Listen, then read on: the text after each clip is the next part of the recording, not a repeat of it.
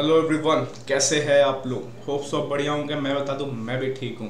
Sir already मैंने आपको audit S F M and law के एनालिसिस मैंने डाल रखे हैं। सर एनालिसिस क्या रोल प्ले करता है? सर एनालिसिस आपको एक पैटर्न समझ में प्ले करता है रोल कि किस वे में आई से आपसे एग्ज़ाम में डिमांड करता है कौन कौन चैप्टर ज़्यादा इंपॉर्टेंट होते हैं। मैं ए बी सी एनालिसिस कभी बात नहीं करता बट मैं आपको एक पैटर्न समझाता हूँ कि आई का पैटर्न इस वे में चल रहा है।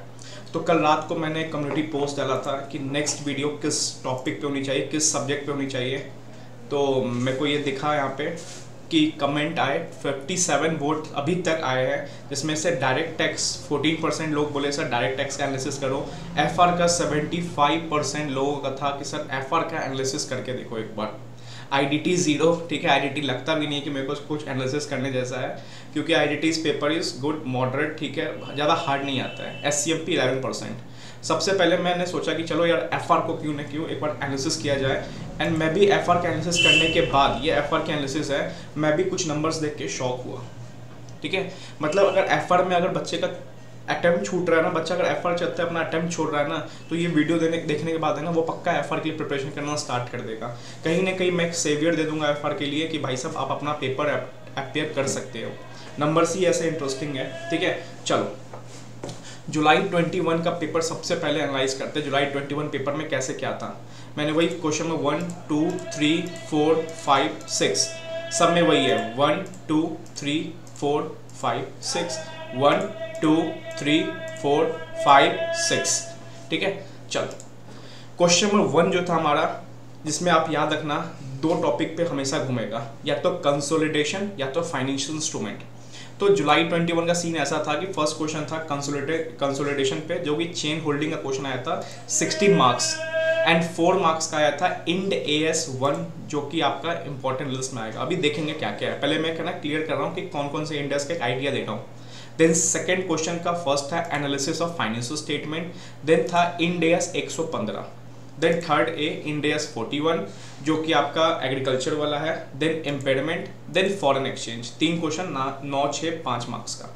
चौथा था F I then C S R then E P S operating Ind AS 116 lease जो यहाँ पे कोविड का अमेंडमेंट पूछा था. कुछ कोविड का अमेंडमेंट आया था वहाँ पे फोर मार्क्स का पूछा था. देन आपका, एक सेकेंड में इसको थोड़ा जूम कर देता हूँ.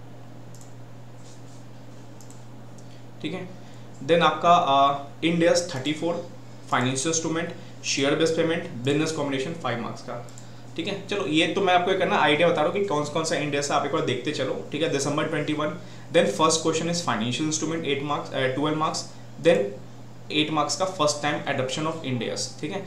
देन बिज़नेस कॉम्बिनेशन से fourteen marks cash flow six marks जिसमें आपको कैश फ्लो सिक्स मार्क्स का था, ये अठारह तो thirty two foreign exchange five marks Ind AS twelve income taxes five marks Ind AS एक सौ पंद्रह revenue from customer ten marks lease दस marks share based payment six marks cash alternative वाला क्वेश्चन आया था. Entering financial four marks financial student twelve marks E P S eight marks फिर Ind AS eight five marks financial student five marks Ind AS two five marks holding five marks sir समझ नहीं आ रहा। अभी समझो मत जो मैं बता रहा हूँ, बस उसको देखते जाओ। Consolidation 15 marks then first question याद रखना है एफ़ आई तो कंसोलिडेशन एफ़ आई तो कंसोलिडेशन होने ही वाला है। 15 marks Ind AS one five marks Ind AS one यहाँ भी four marks Ind AS one five marks तो ये छोटे छोटे इंडेस छोड़ के नहीं जाने वाला है। मैं नीचे एक प्रोडक्ट है ना नंबर्स दिखाऊँगा एनालिसिस करूँगा। ये तो मैं बस बता रहा हूँ कि किस किस इंडेस को टच किया जा रहा है। मई 22 का जो पेपर था ना, वो थोड़ा एक्सपेरिमेंटल पेपर था। क्यों? क्योंकि बहुत सारे इंडियस थे जो नए, पहली बार वहाँ पे आई ने ना ट्राई किया। क्या क्या सर सी एस आर तो सिक्स मार्क्स का आया। ठीक है अमेंडमेंट्स थे, आया। बोर्डिंग कॉस्ट सेवन मार्क्स का आया। इंटीग्रेटेड सिक्स मार्क्स का आया, जो बच्चे छोड़ के जाते हैं। गवर्नमेंट ग्रांट्स एट मार्क्स का आया। इंडेस 105 ठीक है non current asset held for self five eight marks का आया। And Ind AS 40 intangible five marks का आया। तो कहीं ना कहीं एक्सपेरिमेंटल इंडियस ज़्यादा थे इस बार। थर्टी थर्टी फाइव मार्क्स का एक्सपेरिमेंटल किया आई ने। चलो, ये तो क्लियर मैंने बता दिया किस किस अटैम्प्ट से क्या क्या आया नाउ हम आते हैं, एक होप देने वाले आपको। सर होप मतलब अगर आप अपनी फाइनेंशियल एफआर रिपोर्टिंग के पेपर नहीं तैयार कर पा रहे हो या थोड़ा कंफ्यूज हो, क्या करना है, नहीं करना है तो नीचे के नंबर्स देख के थोड़ा शॉक हो जाना कि भाई साहब, ये तो करके जाना है। क्या है सर नंबर चलो, मैंने क्या किया है? मैंने ये येलो वाला जो पोर्शन देख रहे हो ना, ये वो पोर्शन है जो आईसीआई हर अटेम्प्ट में पूछ रहा है। जुलाई ट्वेंटी वन से पहले भी चले जाओ, उसका भी है, लेकिन मैं तीस, तीन साल का लेके चलता हूँ अपडेट वाला, तीन ईयर का, तीन पास्ट पेपर लेके चलता हूँ कि अपडेटेशन देखने को मिल जाए। तो सर सुनो 70 77 63 मार्क्स ये तो थोड़ा एक्सपेरिमेंटल था, इसलिए थोड़ा कम था। अदरवाइज़ 70 से 65 से लेके 77 मार्क्स के पेपर इतने इंडियस से बन के आते हैं। एंड ये जो सारे इंडियस है ना, हर एग्ज़ाम में कॉमन है। तो सर, इससे एक बात याद रखना कि ये इंडेयस आपको पहले निपटाने हैं। सत्तर नंबर आपका अगर एग्ज़ाम में रेडी हो गया ना तो कॉन्फिडेंस अलग लेवल का होने वाला है। सर, किस इंडियस की बात कर रहे हो? सबसे पहले हम बात करते हैं फाइनेंशियल इंस्ट्रूमेंट हर अटेम्प्ट में 19 मार्क्स जुलाई 21 के अटेम्प्ट में, दिसंबर 21 अटेम्प्ट में 29 मार्क्स जो मेरा अटेम्प्ट था, भाई साहब, मैं खुश हो गया था क्योंकि फाइनेंशियल स्टूडेंट मैंने बहुत अच्छे से किया था। एंड मैं इस पोजीशन में आ गया था, मैं पूरा फाइनेंशियल स्टूडेंट 13 14 आवर्स में निपटा लेता था, क्योंकि मैंने रिविजन अच्छा किया था एफआई का। 29 मार्क्स का था, मेरे लिए बल्ले बल्ले था। देन अभी जो अटेम्प्ट गया, उसमें 19 मार्क्स तो फाइनेंशियल इंस्ट्रूमेंट कहीं ना कहीं 19 से लेकर 30 मार्क्स तक का रेंज करता है एग्ज़ाम में। Then comes to business combination plus consultation इसको मैं साथ में बोलता हूँ पढ़ो भी आप भी साथ में पढ़ो इसको हमेशा कभी भी। तो जुलाई 21 में 21 मार्क्स देन दिसंबर 21 में 19 मार्क्स देन अभी जो मई बाईस गया उसमें 20 मार्क्स। तो ये भी 20 मार्क्स तक का रेंज कर रहा है ठीक है?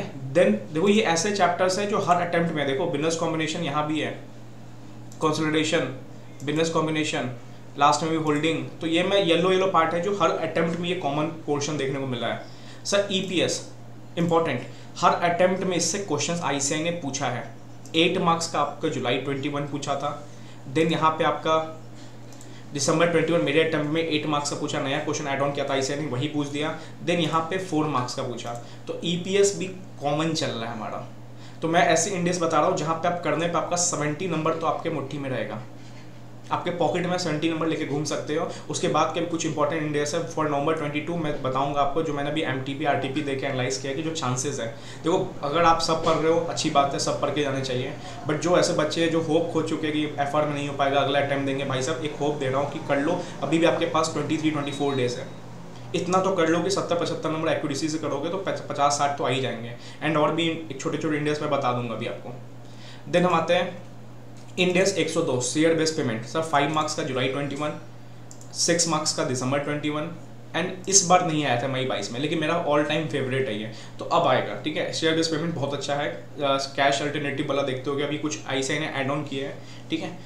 सर फॉरेन एक्सचेंज लोग इसको छोड़ के जाते थे, मैं भी छोड़ के जाता था, मैं ये नंबर देखने के बाद मैं भी शौक हो गया मैं इस इंडियस को सी कैटेगरी के मैं लास्ट में रखता था। नहीं भाई सी कैटेगरी का नहीं है।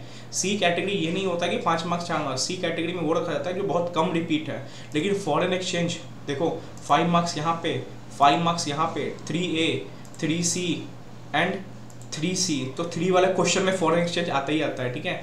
तो फॉरेन एक्सचेंज भी आपको अच्छे से निपटाना है। पाँच मार्क्स के लिए हर अटैम्प्ट में ऐसा ही कुछ इस बार छः मार्क्स का ही पूछ दिया।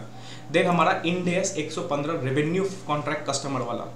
अब देखो, यहाँ पे एक चीज़ मैं बताना चाहूँगा। क्या ये चैप्टर छोड़ना चाहिए? सर, बहुत थियोरिटिकल है। देखो, मैंने जितना पास्ट के एनालिसिस किया है, जितना मैंने आरटीपी देखा है, इस चैप्टर के मैं प्रैक्टिकल क्वेश्चंस कर लूँ क्योंकि आईसीआई का ना, इस चैप्टर पे व्यू आ चुका है कि इस चैप्टर के बड़े क्वेश्चन जो है ना, वो पूछने बड़े क्वेश्चन मतलब प्रैक्टिकल वाले जहाँ पे रेवेन्यू निकालने बोल दिया जाएगा, पाँच छः आपको अमाउंट दे देगा, उसको एनालिसिस करिए रेशियो निकालिए। जैसे इंडिया से एक सौ पंद्रह से बारह नंबर आया था जुलाई ट्वेंटी में, ये भी स्टडी मैटर क्वेश्चन था के scenario A B C D करके दिया हुआ था। ठीक है? आप देख सकते हो केस इलोस्ट्रेशन नंबर 55 मैंने लिख रखा भी है, कहाँ से आया था? केस सिनेरियोस टाइप का दिया था। इलोस्ट्रेशन नंबर 55 था इंडिया 115 में।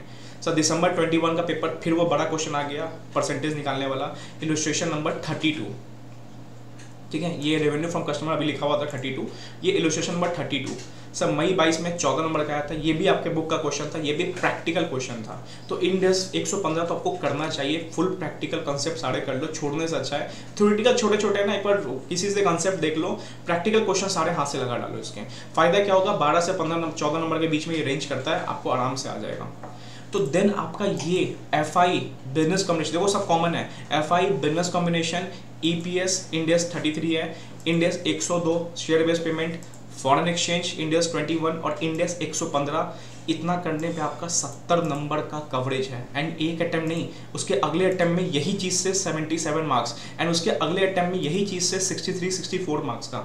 हाँ ये मई बाईस का थोड़ा एक्सपेरिमेंटल था बिकॉज़ इंटीग्रेटेड छः मार्क्स का नया पूछा गवर्नमेंट ग्रांट कुछ नया पूछा इंडेस फोर्टी नया पूछा तो ये थोड़ा वेटेज कम हो गया। बट फिर भी फिर भी फिर भी ये सेवेंटी से सिक्सटी सिक्सटी फाइव से लेकर सेवेंटी फाइव तक रहेगा।